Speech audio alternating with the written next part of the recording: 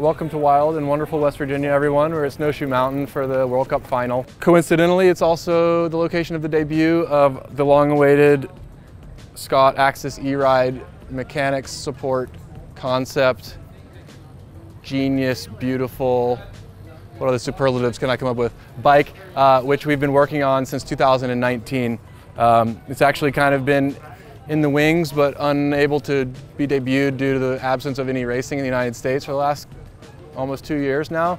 Um, so we're lucky to finally be at a race where, uh, also a race with spectators, where we can actually show the bike off and show some of our creative and fun ideas that we've come up with for this bike to make it something interesting and um, worth stopping and taking a second look at when you pass it in the pits. So without further ado, this contraption here is um, has a lot of bells and whistles, some hidden features that might be worth taking a closer look at. So where to begin? Uh, it starts out as a Scott Axis E-Ride. It's a bike you can buy out of the catalog, one of Scott's uh, many models of e-bike.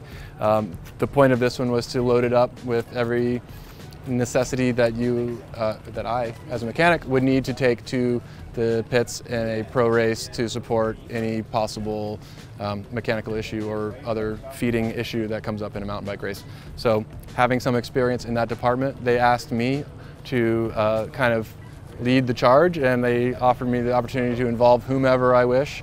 Um, so it was a great opportunity, opportunity for me to collaborate with many friends and acquaintances and partners that I've met along the way throughout my career doing this job. Um, perhaps most not noticeable uh, is the stunning paint job. It was kind of reminiscent of the oil slick uh, theme which is present throughout the parts and components that are spec on this bike. Uh, my friend Tony Baumann, who's a, a, friend of mine from childhood, I was 11 when we first met. Uh, we used to race bikes together in North Carolina. He's since begun his own business as a custom airbrush specialist for bikes and other things um, and has risen to prominence uh, in the industry over the years and it was an awesome opportunity for me to finally get to work with him and do something for myself. I've, I've built many bikes for pro athletes that he's had the uh, opportunity to paint but never something for me personally. So um, to get to involve him is probably the most sentimentally valuable aspect of the entire project. Um, and we talked about yesterday. We actually just finished the build yesterday and he was like kind of in the same, you know, we both had a bit of an emotional uh, realization of kind of how far the two of us have both come, and it's been 25 years now since we got started doing all this bike stuff, so it's really cool to um, to be involved with Tony on this one. So thank you, Tony, for all the hard work. It looks stunning, and everyone has confirmed that who has walked by so far in the last two days. Um, beyond that, we tried to pay homage to team sponsors, so you'll see full complement of Syncros products, all the top end stuff, most of it with custom paint thrown on it. Um, the bike has two spare wheel sets as we always bring to the tech zone. These are the Syncros Silverton SL wheels, which are the fancy one-piece carbon wheels that Kate races on and the whole team races on.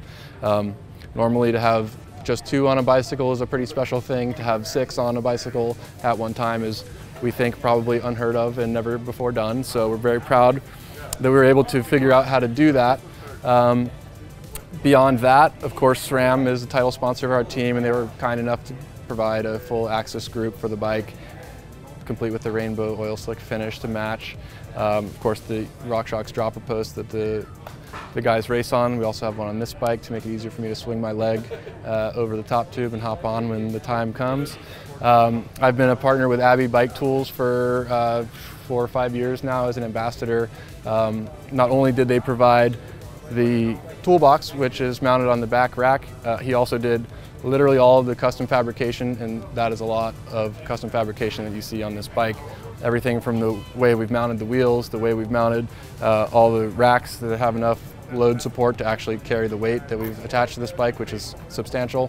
Um, it was not an easy job, and Jason Quade, the owner and founder and brain behind all of Abbey Bike Tools, um, basically shut his workshop down for like three days straight to help us pull this off. So uh, without Jason, this would just be ideas and things jotted down on paper and drawings on a napkin, but uh, he's the kind of guy with the brain that can actually pull this stuff off in real life and has the equipment to, to back it up. So that was huge. Really appreciate Jason and the Abbey Tools uh, contribution. That was, that was big and we couldn't have done it without him.